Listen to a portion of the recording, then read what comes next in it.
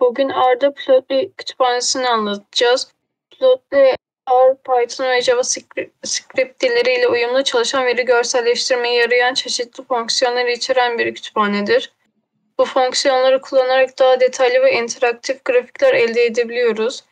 Bu grafikler daire, sütun veya üç boyutlu grafikler olabiliyor. Daha çeşitli grafikler de yapabiliyoruz. Evet. Plotly'yi kullanmak için ilk önce install.packages Plotly ile Plotly kütüphanesini indirmemiz gerekiyor. Ondan sonra library fonksiyonunu kullanarak kütüphaneyi çağırmamız gerekiyor. Ben grafikleri gösterirken x, y ve z diye işte üç farklı veriyi kullanacağım. Burada runif fonksiyonunu kullandım.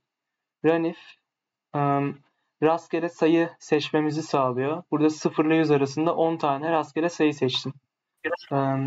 Hepsi için.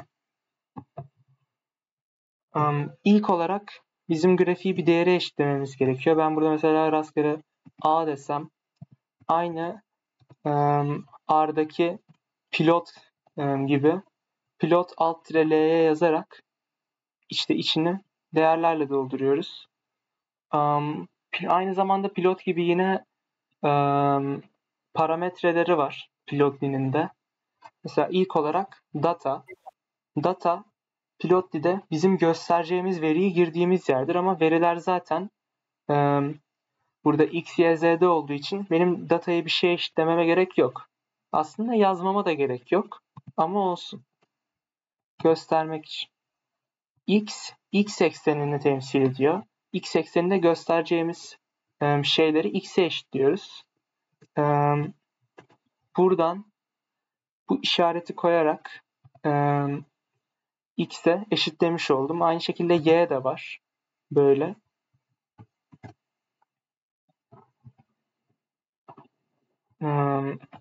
Evet.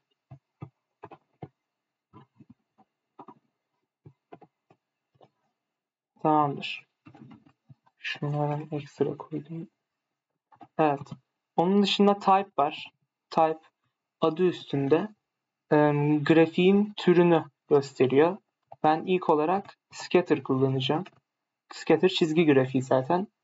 Mod ise e, grafiğin e, direkt e, çizildiği şekli gösteriyor. İlk olarak lines kullanacağım. Onun dışında size veya color ile color ile rengini, size ile işte grafikteki çizgilerin boyutunu falan belirleyebiliyorsunuz. Evet. Buradan böyle çalıştırayım. Evet.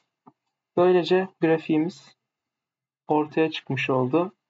Onun dışında modu biraz değiştirirsek, lines yerine line yazarsak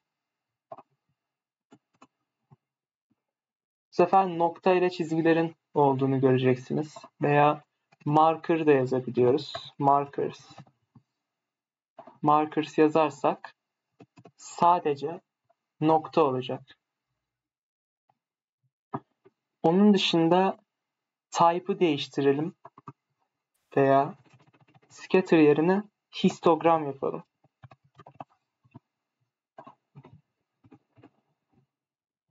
Evet, histogramda normalde e, mod olmuyor. Modu silmeyi unuttum. Ama neyse. E, bu direkt sütun grafiği tarzı bir şey oluyor. Ondan sonra type olarak meshed deneyelim. Mesh'te de mod olmuyor. Meshed e, grafikleri 3 boyutlu şekilde çıkartıyor. O yüzden burada Z'ye ihtiyacımız olacak.